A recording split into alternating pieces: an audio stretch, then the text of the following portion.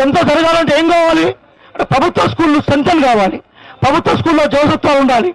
ఈరోజు వీళ్ళు ప్రైవేట్ బిల్డింగ్లను చూపెడుతూ అది అభివృద్ధి అంటున్నారు. అభివృద్ధి అంటే అభివృద్ధి అంటే మానవ వనరులను అభివృద్ధి చేయడమే అభివృద్ధి. ఆర్థిక విషయాల మీద ఆర్థిక విషయాల మీద మిస్టర్ కేటీఆర్ మాతో డిస్కస్ చేసేందుకు నువ్వు రెడీగా ఉన్నావా? నేను బీఈడీ ఎంట్రన్స్ రాసినప్పుడు మొట్టమొదటిసారిగా తెలంగాణ ప్రాంతం నుంచి స్టేట్ టాప్ చేసిన విద్యార్థిని నేను. తెలంగాణ నుంచి మొత్తం స్టేట్ టాప్ చేసిన విద్యార్థిని నేను.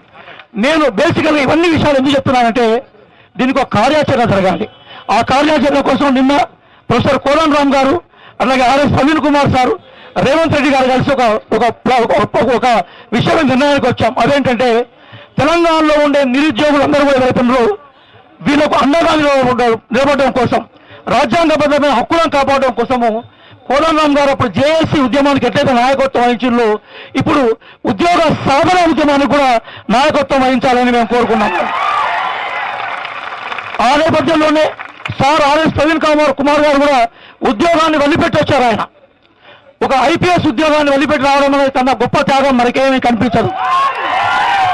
అలాగే కాంగ్రెస్ పార్టీ అధికార ప్రతినిధిగా ఒక పెద్ద ప్రతిపక్షంగా నేను మీకు హామీ ఇస్తున్నాను మీరు చేసే న్యాయపరమైన పోరాటం ఏదైనా కూడా కాంగ్రెస్ పార్టీ మీకు అండగా ఉంటుందనే విషయాన్ని ఈ సందర్భంగా ప్రకటిస్తున్నాను. రాక రాక నోటిఫికేషన్ వచ్చాయి. గ్రూప్ వన్ నోటిఫికేషన్ రాక రాకొస్తే ఎండమాటి ఎండమావి లాంటి నోటిఫికేషన్ యొక్క పేపర్ని టీఎస్పీఎస్పీలో పనిచేసే వాళ్ళే లీకేజ్ చేశారు రెండవసారి వచ్చినప్పుడు మొదటిసారి లీకేజీ రెండవసారి ప్యాకేజీ చివరిగా విద్యార్థులకు జీవితాలు డ్యామేజ్ అయిపోయినాయి. అందుకోసం ఇప్పుడున్న ప్రభుత్వము లీకేజీల ప్రభుత్వం ప్యాకేజీల ప్రభుత్వం డ్యామేజ్ల ప్రభుత్వం. దీన్ని ధ్వంసం చేయకుండా దీన్ని తొలగించకుండా న్యాయం జరిగే అవకాశం ఉండదు. కాబట్టి త్వరలోనే కోదం రామ్ సార్ గారిని కానీ ఆర్ఎస్ ప్రవీణ్ కుమార్ గారు కానీ నేను విజ్ఞప్తి చేస్తున్నాను. వాళ్ళ సందేశంలో భవిష్యత్తులో చేసే పోరాట రూపాలను వాళ్ళు చెప్తారు. ఇప్పుడు మనం బేసికల్గా ఈ ఉద్యమానికి నాయకులు విద్యార్థులే. కానీ ఒక మన దగ్గర జర్నీ జఫర్సన్ అన్నట్టుగా unless the people are aware the concept of democracy will not be successful one కాబట్టి బేసికల్గా ఒక ప్రజాస్వామ్యం సక్సెస్ కావాలంటే ప్రజలు చైతన్యవంతమై ఉండాలి. ఆ చైతన్యవంతమైన సమాజానికి తెలంగాణ ఉద్యమం నాయకత్వం వహించి ఆ తెలంగాణ సాధించిన గొప్ప వారసత్వం మనది. మనం మామూలు వాళ్ళం కాదు. అరవై ఏళ్ళు కొట్లాడి తెలంగాణ సాధించుకున్నాం. మనకు ఈ డిఎస్సిలో పోస్టులు పెంచుకోవడం ఒక లెక్క అని చెప్తున్నాను ఎందుకంటే ఇక్కడ సమాజం అంతా కూడా మేధో సమా- సమాజం. ఇక్కడ సమాజం అంతా కూడా ఒక అద్భుత అద్భుతమైన ప్రతిభావంతమైన సమాజం. ఒక డిఈడి కోర్సులో ఒక బీఈడి కోర్సులో సీట్ రావడం ఎంత కష్టమో నాకు తెలుసు.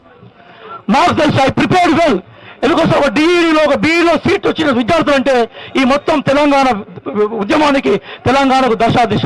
కాబట్టి కోదండరామ్ సార్ గారు ఇప్పుడు మన ప్రణాళిక ప్రకటిస్తారు. ప్రవీణ్ కుమార్ సార్ గారు వాళ్ళు చెప్పే విషయాలు చెప్తారు. అలాగే ఆర్ కృష్ణ కూడా ఆయన కూడా కొన్ని దశాబ్ద దశాబ్దాల తరబడి విద్యార్థి ఉద్యమాలతో పనిచేస్తూ ఉన్నారు.